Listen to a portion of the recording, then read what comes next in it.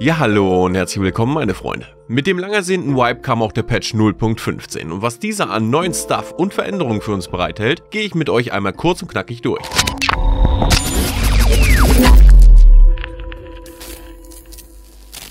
Die Factory Map wurde komplett neu gestaltet, inklusive Texturen, Räumen und Maschinen. Einige Bereiche wurden erweitert und neue Außenbereiche hinzugefügt. Außerdem wurden Spawns und Extractions angepasst und es gibt hier neue Quests. Schaut euch die Map auf jeden Fall im Offline-Modus oder als Scav in Ruhe an, bevor ihr euch dort an Quests versucht. Die Changes sind wirklich echt huge und bis man sich da completely zurechtfindet, kann es schon den ein oder anderen Raid dauern. Dann wurde der neue Boss Partisan hinzugefügt, der besonders in waldreichen Gebieten auftritt und Spieler mit niedrigem Karma jagt. Er nutzt Sprengfallen und agiert bevorzugt aus dem Hinterhalt. Er soll auch wirklich nur schlecht zu hören oder mitzubekommen sein. Passt hier also auf und checkt eure Bereiche lieber einmal mehr. Kommen wir zum Karma-System. Ein neues verstecktes Karma-System wurde eingeführt, das das Verhalten der Spieler basierend auf ihren Aktionen bewertet und deren Gameplay beeinflusst. Dabei könnt ihr dies auch beeinflussen. Ihr sinkt im Karma eher dann, wenn ihr zum Beispiel Exits abcampt und steigt, wenn ihr eher normal bis offensiv spielt. Des Weiteren kam mit dem Patch jetzt das Map-to-Map-Traveling. Dies startet erstmal mit dem neuen Event namens Marathon und das erlaubt es während des Spiels von einer Map zur nächsten zu reisen. Spieler können Items während des Transits übertragen und verdienen eine besondere Auszeichnung, wenn sie alle Orte in einem Raid besuchen. Nun kommen wir zu einem Feature, das viele von euch freuen wird, aber vermutlich genauso viele eher stören wird und zwar die Stolperdrähte. Eine neue Funktion ermöglicht es Spielern Stolperdrähte zu installieren, die Granaten auslösen. Diese können auf verschiedene Weisen aktiviert und entschärft werden. Die Stolperfallen sind allerdings erst nach Abschluss einer Questreihe bei dem Trader Jäger verfügbar verfügbar und die Dauer bis die Explosion eintritt richtet sich immer noch danach, wie lange die Granate selbst auch braucht, bis sie hochgeht.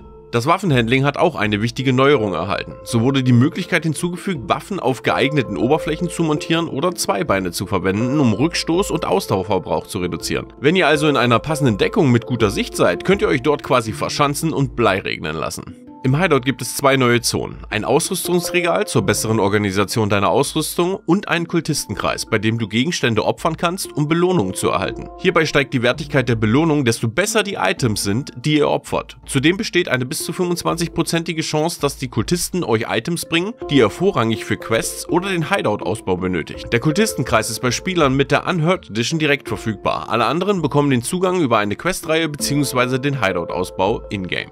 Es wurden zahlreiche neue Waffen hinzugefügt, darunter die Uzi, die Desert Eagle und das M60 sowie neue Ausrüstung und Rüstung. Auch das Kaliber .50 AE ist jetzt im Spiel verfügbar. Der Zoom für bestimmte Optiken kann jetzt stufenlos angepasst werden. Das Hotkey-System wurde optimiert und eine neue Granatenauswahloption hinzugefügt, sodass ihr jetzt wie beim Heilen durch Scrollen bestimmen könnt, welche Granate ihr zieht, ohne die auf eine der Nummerntasten legen zu müssen. Es wurden aber auch Balance-Änderungen vorgenommen, wie die Entfernung von Klasse 6 Schutzwesten aus dem Händlerangebot und eine Anpassung der Munitionsverfügbarkeit.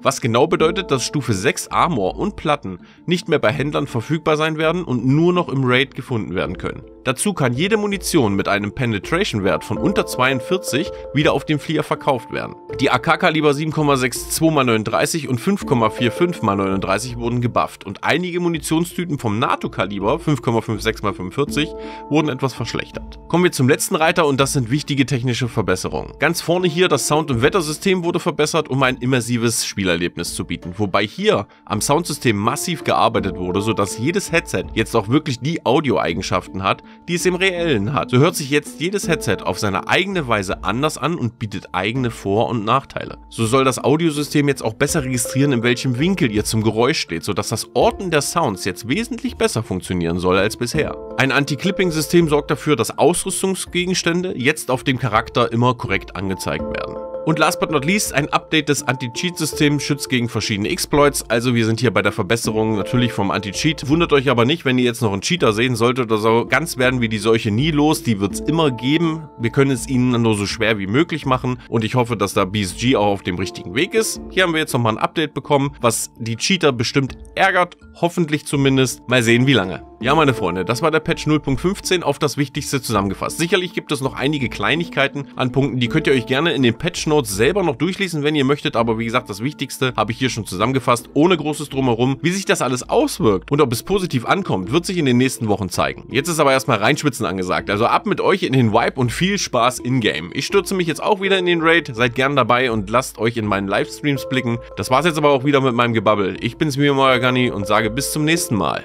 Ciao, ciao.